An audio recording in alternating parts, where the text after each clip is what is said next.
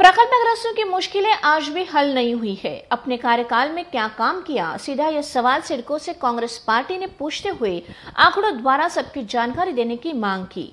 नवी मुंबई में सिडको द्वारा दिए जाने वाली विभिन्न सुविधाओं से एमडी के कार्यकाल में लिए फैसलों से किन किन को फ़ायदा पहुँचा?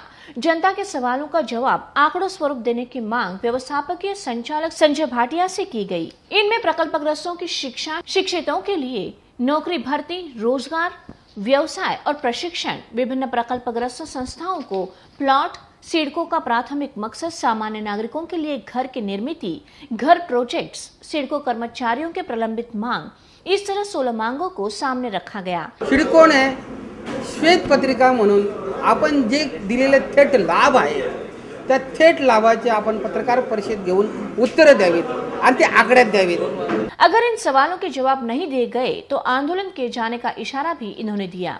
जर त्यांनी हे उत्तर जर नाही दिले तर आम्ही ह्या ठिकाणी आंदोलनाची भूमिका घेणार आणि तसं आम्ही पत्रामध्ये उल्लेख देखील केलेला आहे. जर्नलिस्ट मूसा के साथ शेखर हमप्रस की रिपोर्ट।